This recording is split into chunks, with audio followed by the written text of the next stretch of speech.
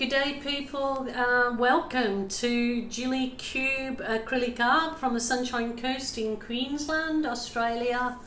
I'm doing a pour for you today, um, and I'm going to do mostly dark colours, but I'm going to swipe in gold, and I am going to do a test on because I've had lots of people ask me. I'm going to do a test on half of my canvas will be torched with the butane and half of it will be torched with my Wonder Wand. Now my Wonder Wand had a little bit of an accident and I dropped it and then trod on it. Um, it's still alive and it's still working but I have an, another one sent to me on the way now. So I don't want to go without it because I have found that it's just perfect, light, easy to use, and gives me the same results. Having said that, people want to see the difference and said that we love your Gilly clusters that you get from the butane torch. So I'm going to just see um, if it gives me a different result. But I'm kind of calling this one uh, dark as night because uh, I'm doing fairly dark colours in it. So hoping that my gold going to use the Mont Marte Gold for my swipe. I haven't swiped in gold for a while. I did do a swipe in gold quite a long time ago. This swipe was in gold. Um, it was over a failed pour. yeah, that obviously was a different gold to this. So maybe this was back in the days when I was using global paints, um, but I don't use them anymore. I use the Mont Marte. So, whoa, I'm going to see what the Mont Marte creates for us. But yeah, I really liked that. I liked the, it was, yeah, all dark colours that went yucky. So I just swiped the whole lot in the gold and then did some balloon embellishing. So look at this lace and everything. See, that's quite effective. That was a nice one. I like that. Um, so I'm sure it won't turn out anything like that because they were completely different paints and that was like something that I kind of, you know, like it was a, a failed pour that I just tried to save with the gold swipe and yay, it did. So here we go. Excuse my voice, I'm kind of losing my voice a little bit. I've just had a cold. I haven't got the virus or anything, but of course we are self-isolating like everybody is asked to do in Australia at the moment. If you don't need to go out, we haven't. So I've just been entertaining myself, planing my art room. So there you go. Um, self-isolate and create is what my motto has been and that's what I'm going to do. So I'm using the Mont Marte Studio acrylics and I have mixed all of my paints with the 70-30 clear PVA. If you're in the US and you can't get this particular brand right now, I believe it is coming more prevalent, prevalent in the US, um, then the Elmer's Glue All is works equally as good, but they're the only two that I really love. so yeah, losing my voice just a little bit. Perhaps my husband will be happy about that. But uh, anyway, we will get on with this particular test. So, so, so, I mixed all my paints and I put two drops of Helmar silicone my pouring recipe and everything is in the drop down box underneath this video. So first of all, this was, I mixed the cerulean blue and then I don't know what, I just added some of the phthalo blue and it's kind of sent it like this dark teal. Um, not too overly excited with it, but it was just again another um, try that you know another um, custom color that I was trying to create. And if you like it you like it and you don't you don't. Uh, I'm not that keen on this particular one. But I can already see that I haven't mixed it too good because I can see the um, like a marbling from the light and the dark already coming in it. So it might turn out a good thing. Uh, so that was the cerulean and it had phthalo blue mixed in with it. So this is what I mixed in with that particular one, just a bit of this. So I'm going quite dark on this one because the pour I just did before this uh, was all the colours of the rainbow because I believe we all needed brightening up and some rainbows in our lives. So I did a really nice bright pour. So now I'm going dark as night. but hopefully it's still cheerful. So I'll go around the edges with that. Loving the blues. Okay, I'm going to put some of this purple. So this is the Mont Marte purple into there. So I hope you're all keeping safe and well and doing the right thing and staying home, creating, just going out to get your necessities. It's a bit of a shocking thing for us all to go through, but you know, hopefully that it's happening worldwide, we're all pull through this together. Wow, that's really dark. Looking at that thinking, what am I doing? Okay. Now, probably silver and gold won't go that nice, will it? But we'll give it a go. This is the silver. I always, this is the silver metallic and I always try to make the metallics a, a lot thicker than the other because they just seem to sink into your work.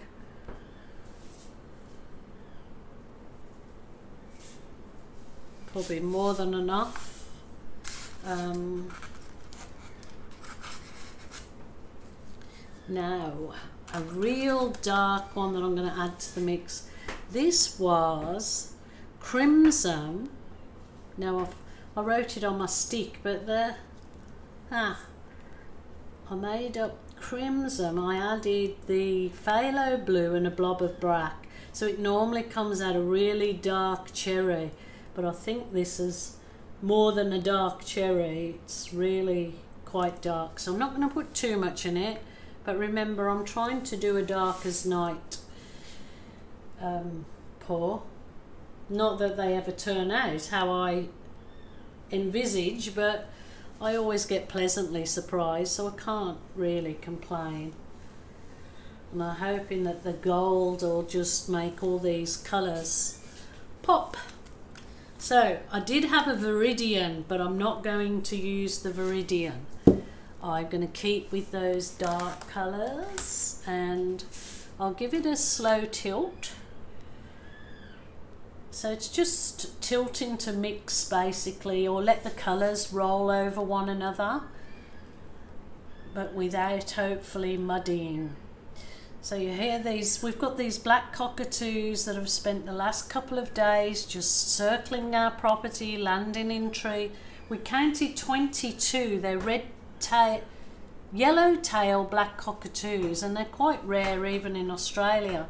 So we're not quite sure what's going on with them at the moment because, um, yeah, they don't appear to stay, well, they don't normally stay around for more than just a fly past, but for, for whatever reason, they're pretty noisy, they're making their presence known and just keep flying all day.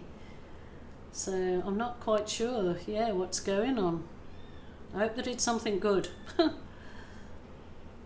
Don't need any um, more drama in our lives or more stress. So this is what I think. If you stay home, you order your paints online and canvases, which you can easily do, they're still delivering. Um, and create even if you haven't tried this art form before they're free online tutorials for you to learn while you're at home now and give give the um, your creative streak uh, an opportunity I suppose.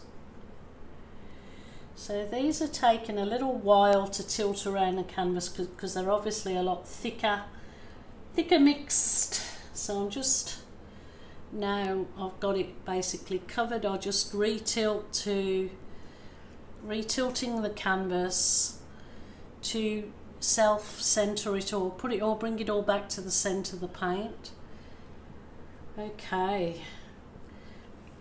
Dark, moody colours, definitely. Just grab myself a cloth because I didn't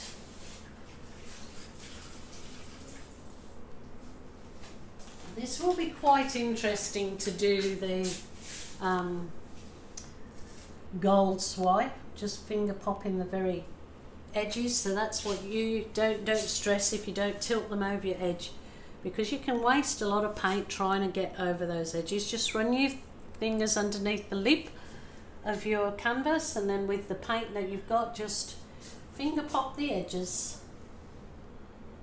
Okay wonderful wonderful wonderful. Wow it's either going to be a master or a disaster. So we'll get busy. Lizzie? Okay gold swipe it is. Yeah pretty excited to do this because like I said I haven't done a gold swipe for quite a while now. Gold this is an absolutely stunning shimmery gold in the Mont Marte. I have put two drops of the Helmar in all of the paint, including this gold.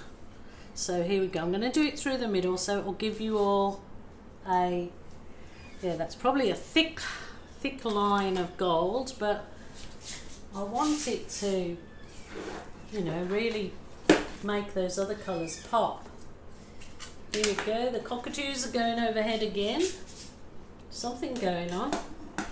Alright, this is my soft plastic file divider and I'm going to use for my swipe. Best swipe tool and that's what I make my Swifty swipe at.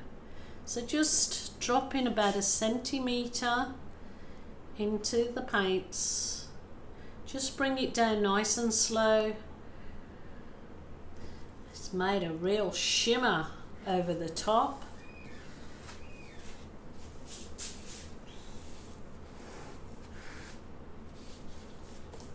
Wow. Oh, I like it already. Just nice and slow, just relax. Just draw it to you. There you go. Nice and easy. Nice and easy. Okay, just move that out of way. I might give this a turn around. Ah. Oh, that is shimmery. It's really made all those blues and purples really shimmery. Shimmery. Okay, keep going with it. Keep going with it.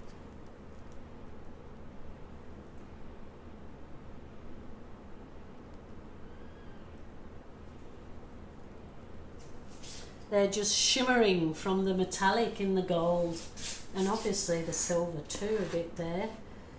But very, what a brilliant swipe though just to leave as it is without, if you wanted to leave it as this swipe because it's got the colours are just shimmering through it. That's beautiful. Beautiful.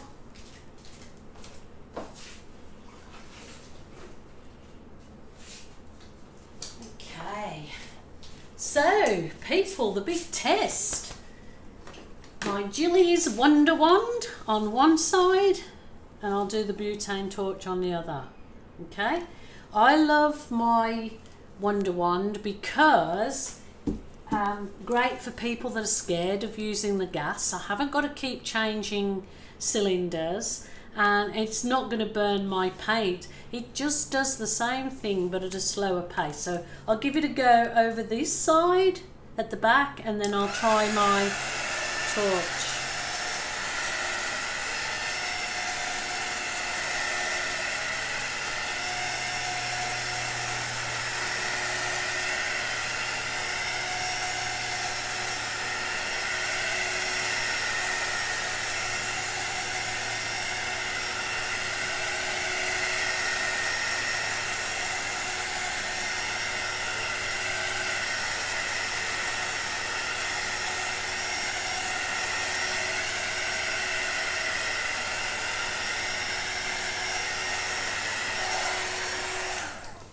Does it heats the paint up so much slower than what the butane does because the butane is an instant hit of heat on that. But look at those gorgeous cells through that.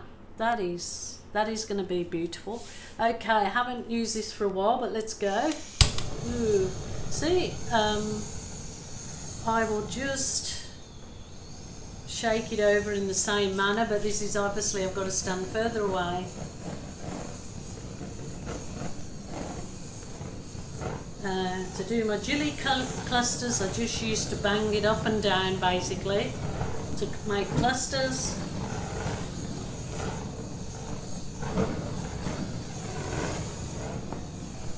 I'm going to leave that teeny tiny cluster here, like little, I think the uh, metallic has given a different probably outcome than if I just uh, tried that test with. So that side is the heat wand, this side is the um, butane torch. Uh, there's not really a great difference. There's a few of really teeny tiny like cluster cells here, but then there's excellent cells within cells here. And of course it's still developing. This thick line will go because I'm going to work with this down the centre but that is quite beautiful. What do you think, guys? Just give you a bit of a close-up so you can have a look. Ooh, ooh, ooh. There you go. So the butane torch is the far one. So, I mean, it will develop a bit further over the next 20 minutes or so. Um, obviously not great deal of difference really.